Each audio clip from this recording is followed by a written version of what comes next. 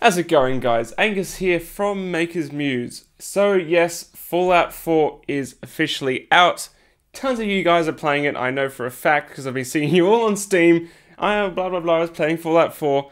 My copy is delayed. I I wanted to get the special edition with the Pip-Boy and it sold out in Australia like that, like instantly. So I ordered it from GameStop in America and then they're like, oh, there's a delay now, and oh, we're sending it to your old address, even though you told us five times to change the address. So my copy's somewhere, you know, between America and Australia, and it's probably going to turn up in a, you know, some empty apartment. So I thought, great, I can't do my Fallout video for you guys, so I'm going to do another Fallout video based on Fallout 3, specifically the DLC, The Pit. This is definitely one of my favorite ever DLCs for Fallout 3, and I'm printing from it. Ba-ba the Auto Axe. So in this video, I'll be showing you how to rip files from Fallout 3 and Fallout New Vegas. So pretty much anything you want from those games and 3D printing them on your printer. So this is going to be a two-part series. In this video, I'll be showing you how to rip the actual files and prepare them for printing and then print them. And then in the second video, I'll be showing you how to prepare your prints and glue them together and finish them with paint so they look awesome. And obviously, once my copy of Fallout 4 does show up, I'll be doing a similar video on how to rip files from that. So stay tuned for that.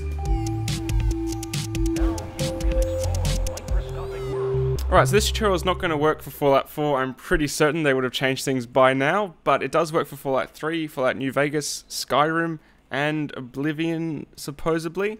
What you're going to need is BSA Browser, which you can download from Nexus Mods. You'll need NifSkope, and you'll need Mesh Mixer, which is my favorite, favorite mesh editing tool. It's completely free. You can download it from Autodesk's 123dapp.com website.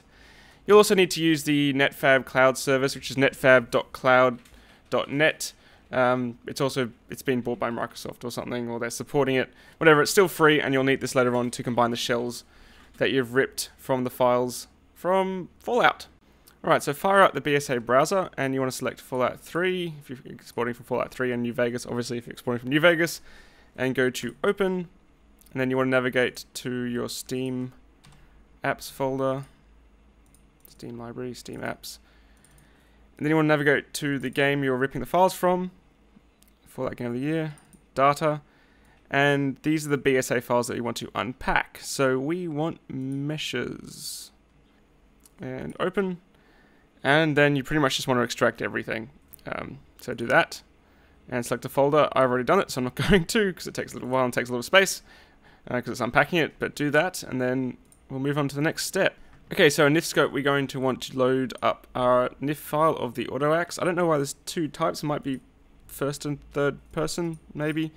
Um, let's try this one. Yeah, that looks pretty cool.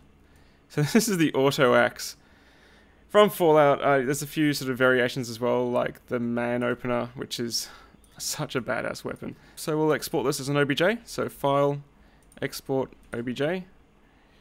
Okay and you can see I've already already exported it as well as some other weapons. So we'll just say yes. Let's call it 2 uh, Fallout New Vegas exported. Done. Save. And we're done with NifSkope so close that. And now we can open it up in Mesh Mixer. So navigate to where you've saved it. Exported. That's the one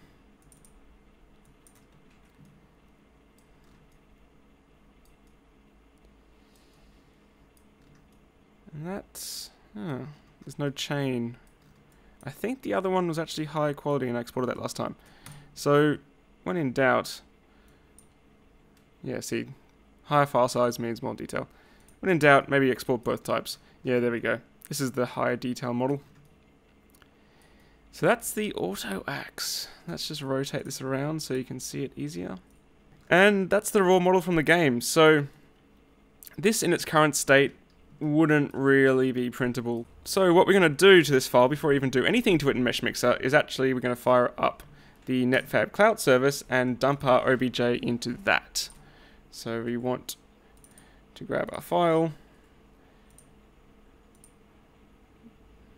That was the one. Open. And we're going to use the Netfabb cloud service to combine all of those individual shells and parts because they're not really printable at the moment. And this is something you'll find with lots of video game files. They're not actually printable. Straight from the game, you have to do a bit of repairing. So that's done its thing, and now we can download it again. And essentially, that should have fixed and stitched up our file to make it printable, but there's still a little bit of work to do yet. So here's our fixed file. Let's do a quick check to make sure there's no errors under Analysis Inspector. There's a few points of concern, but yeah, I'm wondering if it's just going to remove them if we do that. Yeah, it just does. Oh well, um, let's just leave those in and see how it go. So first we need to see scaling. So out of the game, obviously they're going to be completely non-standard scale because it's, it's, game scale. So 73 mil high. Um, how big you want to print your auto axe is dependent on how big your print bed is, I suppose. I chose to print it really large and in bits, so I'll show you how I did that. So here's what I ended up with after I scaled and sliced the auto axe. Basically, at this size, it's currently 488 mil high, which is pretty big, um, and 200 wide. So 200 wide was my limit, as I didn't want to slice it through the middle here. I wanted to slice it across if I could help it because my bed size on the Wanhao Duplicator i3 is 200 by 200 by 180 mil high. So that was kind of my in, you know, implied limit. So you can see here it's made up by seven pieces. So largest one is this. This is the largest piece. And I've sliced it so most of the part doesn't need support. I mean, this little bit here did need a bit of support. It was a bit tricky. But the rest still printed, you know, with no issues really. Uh, with the disc as well, if I turn all the parts back on, the disc, I sliced that separately too. So you can see I've just sliced it across here. And that's because you don't want to print this standing up on the print bed, you want to print it lying down flat. A bit like a frisbee. And um, the rest of the parts, you know, I tend to, to print standing up. Like this one printed quite well standing up in that orientation. And then I set them up for printing in Simplify 3D. So here you can see the support material generated.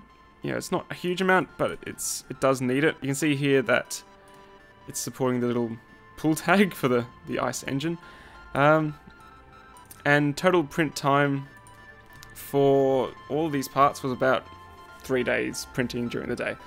Yeah, so this is the longest at 19 hours, the rest are about 5 to 10 each, depending on how big, some only 2 hours. And yeah, I got printing.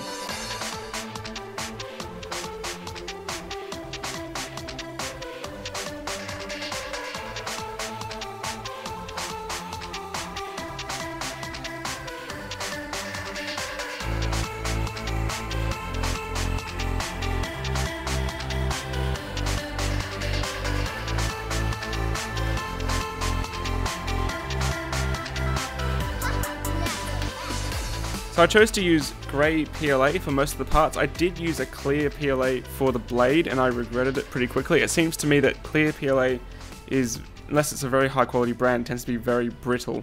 So there you have it, that's how to get your files out of Fallout. So these are the bits I've printed for my auto axe or man opener. So this is how long it's actually going to be. It's going to be about 500 mil long, which is pretty substantial. And it's printed off all in seven different bits.